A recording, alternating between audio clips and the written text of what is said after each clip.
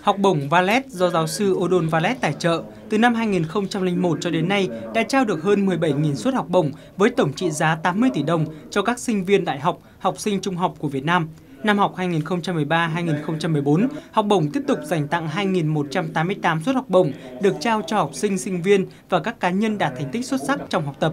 Những suất học bổng Valet này sẽ là nguồn động lực quý giá cho các học sinh sinh viên của Việt Nam phát huy hơn nữa tinh thần hiếu học và học hỏi nhiều hơn nữa để trở thành người chủ tài năng của đất nước trong tương lai.